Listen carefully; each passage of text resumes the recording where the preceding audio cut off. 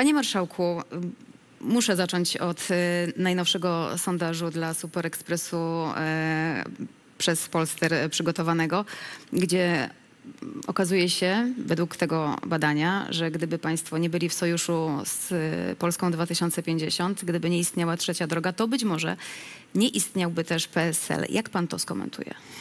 No powiem szczerze, że mnie akurat tego typu sondaże i informacje ciągle co najmniej od 20 paru lat bawią, a przynajmniej od roku 97.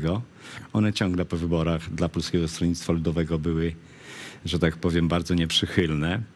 Ja raczej patrzę na to wszystko jak na ośrodki kształtowania opinii publicznej, a nie badania opinii publicznej, a ostatnie wybory samorządowe, pragnę przypomnieć, że startowaliśmy w koalicji z Polską 2050 jako trzecia droga. Stosunek głosów na e, radnych PSL-u w stosunku do kandydatów na Polskę 2050 był jak 7 do 1 na rzecz, 7 do 3 na rzecz PSL-u. Natomiast w wyborach parlamentarnych udało nam się i to też wyborcy równo podzielili, bo tam było praktycznie 50 na 50, więc y, ten y, jednorazowy sondaż w mojej ocenie to już jest kreowanie przyszłości politycznej pod nadchodzące wybory prezydenckie. Dla mnie jest zrozumiały, ale ja go czytam zupełnie inaczej niż pani.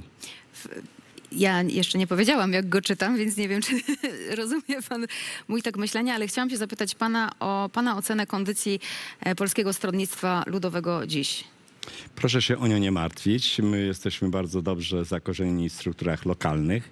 My mamy struktury w każdej gminie, w każdym powiecie, nie tylko zarządy gminne, zarządy powiatowe, ale także w wielu miejscowościach są pojedyncze e, koła, więc e, to jest to, co cały czas trzyma Polskie Stronnictwo Ludowe u źródeł, u korzeni. I ta nasza podstawa, płaszczyzna zakorzenienia jest tak szeroka, że czasami nawet jak liderom uda się popełnić jakiś błąd i, że tak powiem, e, pójść złą drogą, to te korzenie ich e, ciągle e, wrócą i ciągle przywołają, że tak powiem, do porządku. Pan otwarcie w wielu wywiadach, które przesłuchałam przed naszym spotkaniem, e, nie wiem, czy dobrym słowem będzie krytykuje Donalda Tuska, ale zwraca pan uwagę na wiele e, niedociągnięć, e, które są w zasadzie niezmienne od momentu przejęcia władzy przez nowy rząd. Mm, mówi pan też, że pana zdaniem Donald Tusk będzie kandydatem na prezydenta. E, Koalicji Obywatelskiej. Donald Tusk cały czas powtarza, że nie, nawet dziś to powtarzał. Uważa pan, że Donald Tusk e, kłamie celowo? Otóż tylko niezdementowana e, informacja jest, że tak powiem, informacją nieprawdziwą, zdementowana, nie, nie, niesie coś w sobie. Pewnie o tym będziemy rozmawiali w szczegółowych pytaniach, więc nie chcę się bardzo głęboko do tego odnosić.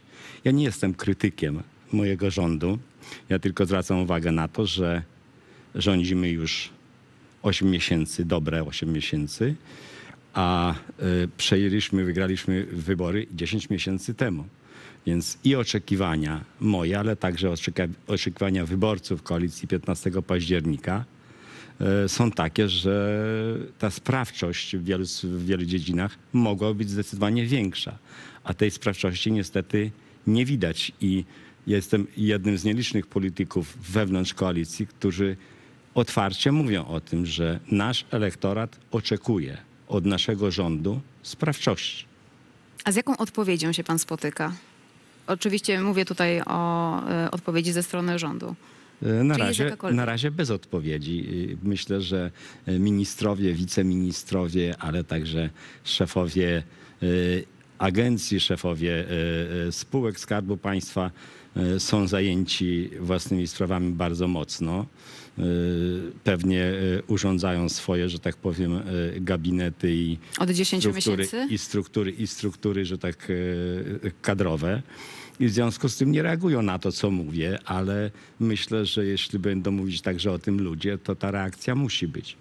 Ja niczego więcej nie chcę. Ja chcę tylko i wyłącznie sprawczości, bo mamy umowę koalicyjną, którą żeśmy podpisali i ta umowa powinna być realizowana i nie może być tak, że w dziesiątym miesiącu e, funkcjonowania tego rządu mamy sytuację, czy, czy po, po wyborach mamy sytuację, w której sztandarowy e, projekt i Polski 2050 i Polskiego Stronnictwa Ludowego, ale także pamiętamy Platformę Obywatelską, Koalicję Obywatelską jako partię przedsiębiorców, nie jest nadal realizowany. On jest w powijakach.